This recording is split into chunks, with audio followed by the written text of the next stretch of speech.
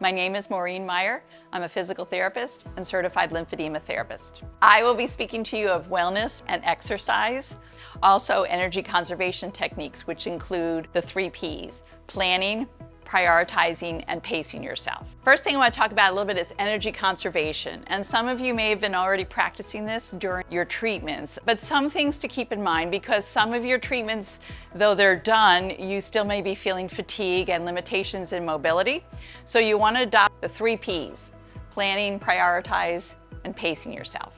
Number one, planning. You want to gather your supplies in advance. So say you're going to do cleaning for the day. Can you have some cleaning supplies in each room that you might need so you don't have to go back and forth, back and forth? You want to call ahead in stores to check availability of items. Can you order things online? Online grocery shopping can be very helpful. A lot of people got used to online shopping with the pandemic and it's just a good tool to, to save your energy, to maybe get in your exercise or activities you want to do. When you cook, can you cook in a little larger quantity? Put some in the freezer for storage. You want to schedule your day accordingly. When do you have your most energy? If you're better in the morning, then plan some of your heavier tasks for the morning time as opposed to waiting till late afternoon. Same with appointments. Things that could be make it a little easier, use some paper plates and plastic utensils so you're not having to do dishes as often. And keeping maybe a daily journal might be a help to you to find out when are your best times of the day to do activities and go from there. Prioritizing. Eliminate or reduce the tasks that are not that important to you.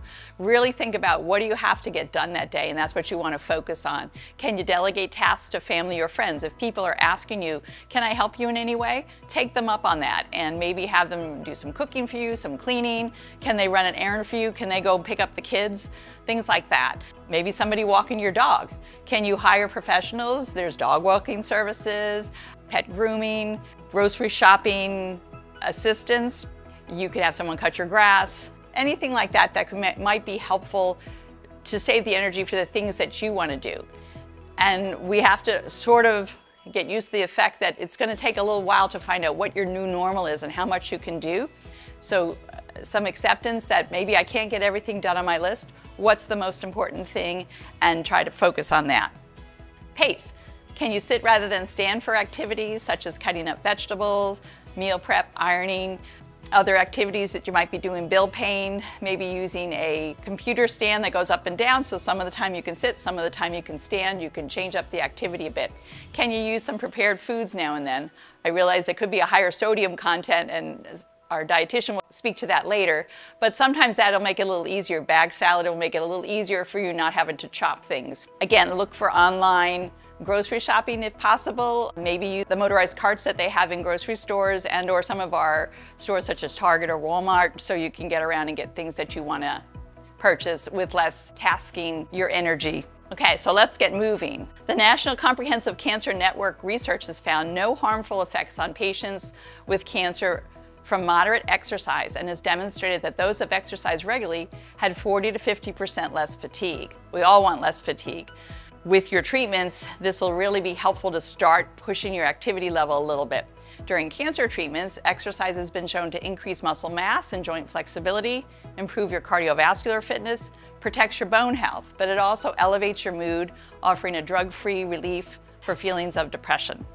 Precautions. You do not want to exercise if you're feeling very short of breath, if your blood pressure is higher than normal, if you feel unsteady, you could do seated exercises and have someone present when you go from sit to stand if possible.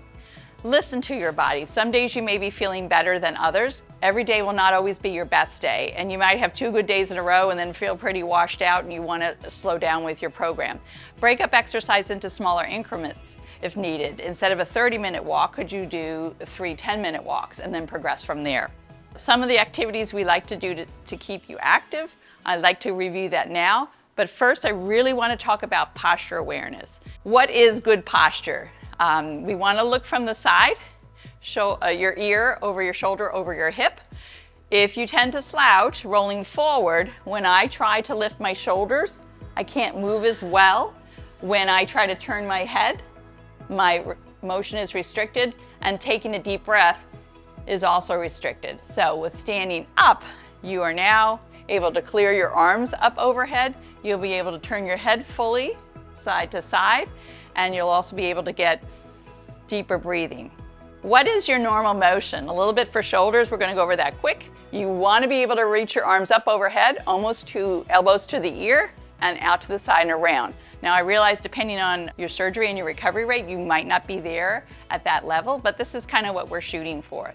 The other important thing is breathing. If you put your hands on your rib cage, if you take a nice deep breath in, you want to feel that your rib cage is moving. So I want everybody to take a deep breath in and then blow out like you're blowing out candles. And you should feel your ribs move inward. If they do, then you're getting the, the breath all the way down to the diaphragm. This is helpful both from a fatigue level for getting the proper oxygenation, but also for lymphedema prevention, which we'll talk on a little bit later. Exercises really everybody could do the shoulder blade squeeze. And you wanna look at getting your shoulder blades back together. It helps open up the chest wall, again, helps for breathing, for posture. But also if you have that forward rolled position, and you have limitations in your shoulder movement, it'll also limit your strength. So you're gonna put your arms out to the side, and sometimes this is referred to as a W. So if you look the way it moves up and down, and you're bringing your shoulder blades together. Another real good one is bicep curls, which is bringing your arms up and down. And you can start with them without a weight. You can start with a water bottle in your hand so you don't have to go out and buy weights and gradually progress from there. Another good one is wall push-ups or the chair push-ups. So a wall push-up, you're gonna put your hands on the wall about shoulder width apart and stepping back maybe a foot or two and you're gonna come into the wall like a push-up and then push out.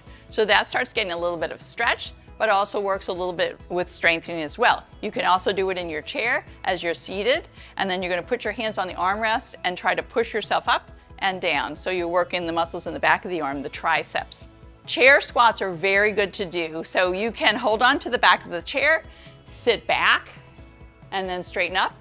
Also a good spot to do this is your kitchen sink because you're not gonna have that pulled out of the wall. It's gonna be stable, so you're gonna hold on and then squat back and then come on back up. That's good for your muscles in the front of your thighs and back as well as your gluteal muscles, which are the ones you need from getting up from chairs, climbing stairs, getting up from the toilet, getting in and out of a bathtub. Calf raises, going up and down on your toes. Again, stretching out your mobility for your ankle, but also doing some strengthening for your lower leg. And then side leg raises help again with stability for your hip with walking. You could be holding onto your kitchen sink or a chair. You're bringing one leg out to the side. And this way you're also getting some balance on the other leg and then you're gonna bring the other leg out to the side. Again, working on strengthening and balance at the same time. Lower body, there's a couple ones that you could do seated. So you would be sitting in a chair and you're gonna extend the right leg fully. You're gonna try to keep yourself seated upright holding your tummy tight and then bring your leg down. That's gonna work your quadricep muscles. Straight leg raise, when you're laying back, you're gonna bend one knee up and that's gonna help protect your spine and you're gonna lift the other leg up and down slowly. And that will give you strength for your quadricep muscle in front of your leg. Bridging is a real good one. You're gonna lay on your back with your knees bent up and then you're gonna push down and raise your bottom up off the bed. And that's again gonna help your gluteal muscles, but also your quadricep muscles. Lymphedema. It's a swelling of a body part, most often in the arm or leg, caused by an accumulation of lymph fluid, although it can also occur in the face, neck, abdomen. Although it is chronic, it can be usually brought under control by good care and attention to certain basic rules.